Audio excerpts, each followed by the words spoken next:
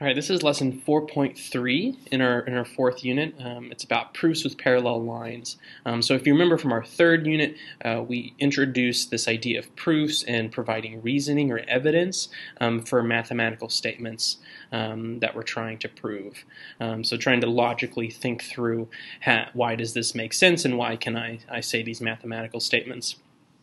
Um, and so we'll be looking at some parallel line proofs. Uh, we won't be uh, proving too much as we were in the last unit, more just looking at continuing to provide reasons um, and evidence um, to show our thinking of why we know something to be true, um, specifically around parallel lines.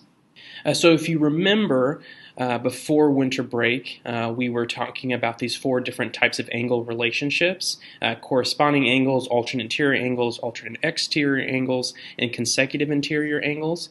Um, so you want to make sure you remember uh, those um, those different angle types um, and how to identify them uh, when two lines are cut by a transversal. And you want to make sure you especially remember um, what we know about those angles and their relationship to each other uh, when we have two parallel lines uh, cut by a transversal. So we see in each of these images here, um, we have two parallel lines cut by a transversal and the different angle types are highlighted. Um, and so we want to make sure we remember that. Corresponding angles are congruent, so angles 1 and 5 here are congruent. Alternate interior angles are also congruent, 3 and 5. Alternate exterior are congruent, 1 and 7 and then consecutive interior um, are supplementary, meaning their measurements add up to 180 degrees. Um, so if you uh, don't remember those, I'd make sure to go back and read over those notes or watch uh, the videos uh, where we talk about those. Um, but we'll need to know that knowledge uh, for what we're doing today. All right, this image here is what I was just talking about with what we know about those angles for corresponding alternate interior, alternate exterior, and consecutive interior, um, how they're congruent or supplementary. Um, one thing I just want to highlight here is that word theorem.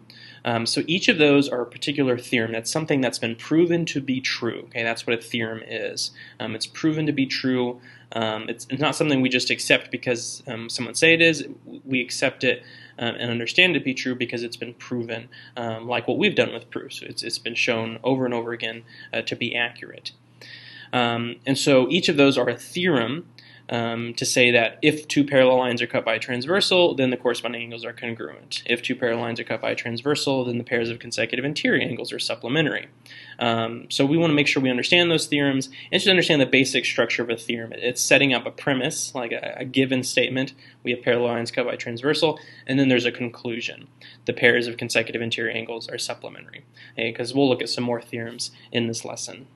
All right, the first theorem for this lesson um, is related to the theorems we were just looking at with corresponding angles, alternate interior, and so on. Um, but these theorems are what we call converses, okay? and that just means basically the reverse. Okay? So in the original theorem, the corresponding angles theorem, it said if two parallel lines are cut by a transversal, uh, then the corresponding angles are congruent. But now we're kind of re reversing it. This one is saying if two lines are cut by a transversal so that the corresponding angles are congruent, okay, so we're starting by understanding that the corresponding angles are congruent. Okay, that's, that's our initial given information. Then we can say the lines are parallel. So this converse theorem is giving us uh, information to say that if we can prove or show that the corresponding angles um, of two lines cut by transversal are congruent to each other, they have the same measurements, then I can prove the lines to be parallel. Okay, so it's kind of the reverse of the other one. And it's true for, for all of those different angle types, alternate interior, alternate exterior, and consecutive interior as well.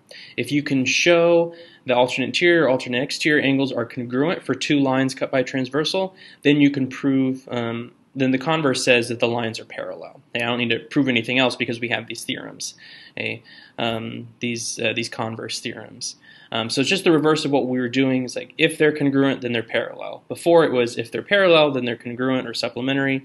Now it's if they're congruent or supplementary, um, the lines are parallel. Okay, so that's what we're trying to work with is, is show that these lines are parallel. Um, so those are theorems. Again, you don't have to memorize those theorems. We, have got those written down in our notes, um, and so you can just refer back to them. But you do need to know how to use them um, and when to use them. Um, and it's all based off of what we're saying. You're, you're identifying the information. Do you see some information that says these angles are congruent? If so, then you, you can show that they're parallel. The lines are parallel. One other theorem we'll look at is very similar to something we've seen before. It's the transitive property of parallel lines. Um, if you remember, the transitive property of equality says that if two terms are equal to the same term, then those two original ones are equal to each other, uh, basically. Um, it's the same for parallel lines. If two lines are parallel to the same line, then those two lines are parallel to each other. Okay, so in this picture here, if P is parallel to Q and line Q is parallel to R, then line P is parallel to R.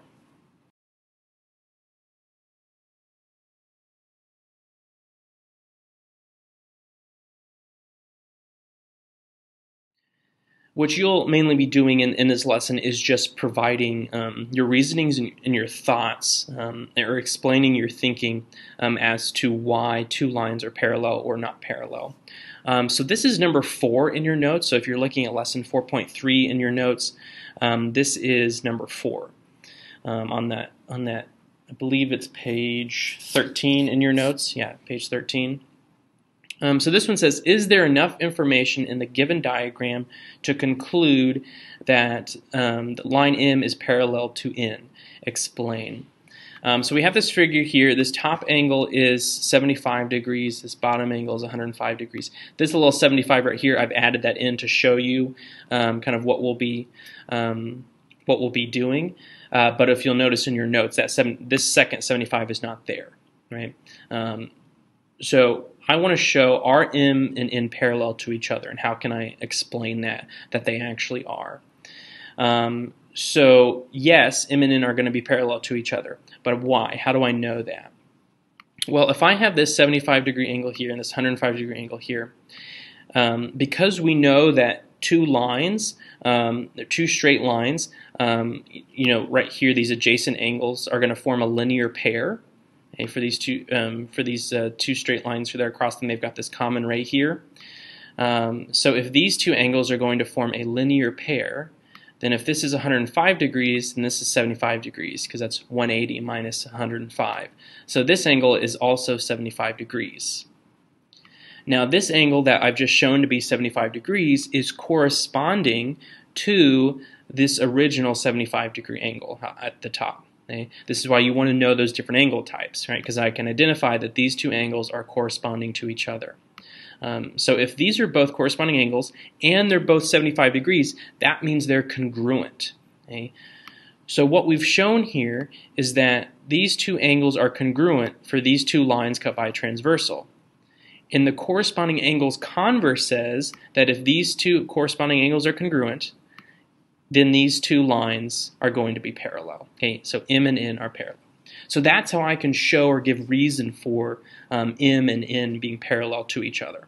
Okay? Uh, because I was able to show that these corresponding angles are congruent, then I can say that these two lines cut by a transversal are parallel.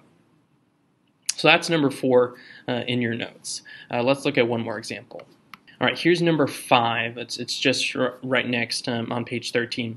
So in this diagram below, we're told that angle P, or not angle P, line P is parallel to line Q, and line Q is parallel to line R.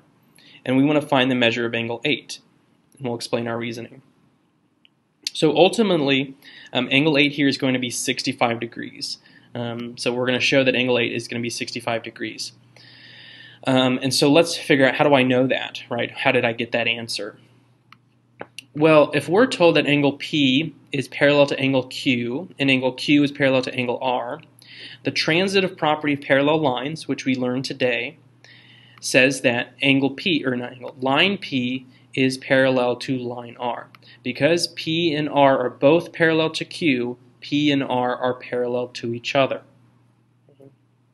So it might be helpful to even kind of visually or maybe even redraw this figure so that Q isn't there because you're normally used to working with just two lines. Um, so you don't have to do that, but you might think about, okay, if Q was, wasn't there, because I now know that P and R are parallel to each other. Okay, so those are my two parallel lines that I'm concerned with.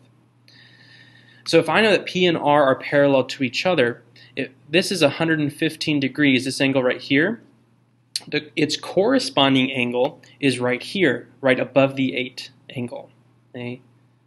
angle 8. So this 115 degree angle is corresponding to this angle down here, right? They're in matching positions on different lines on the same side of the transversal. Um, and so this angle right here is also, right above the 8, is also 115 degrees. That's the corresponding angles theorem, okay, that those angles are congruent with these parallel lines. And now these angles here, okay, these angles here, this 115 degree angle and this angle 8, those form a linear pair, right? They share that, that common ray. Um, they're on a straight line. Um, so if this is 115 degrees um, with this angle 8, they form a linear pair. So the linear pair postulate would say that the measure of angle 8 is equal to 180 minus 115, right? So if total, they would be 180. You minus the 115 angle, that would leave you with the measure of angle 8, okay, um, which is 65. 180 minus 115 is 65. So that's how I get angle 8 to be 65 degrees. So I showed that you know these lines were parallel to each other by the um, transitive property parallel lines. Those angles were congruent by the corresponding angles theorem. And then I had a linear pair, and so I just took the angle um, subtracted from 180 um, to get what the measure of angle 8 is. So using these different theorems um, and, and, properties, we were able to, one, uh, determine if lines were parallel, and that's what we did in the previous example, and then two, determine what the measurements of the angles are. Okay, so using our, our, our, transitive property and theorems. Remember, you don't have to remember all those properties and theorems. You've got your reasons notes uh, that, that um, are you're able to look at and use to, to justify your reasoning and explain your thoughts. Um, but we need to know how to use them, how to use them and make sense of them um, here, right? They're just supporting your thinking and giving you a reason for why you're doing what you're doing.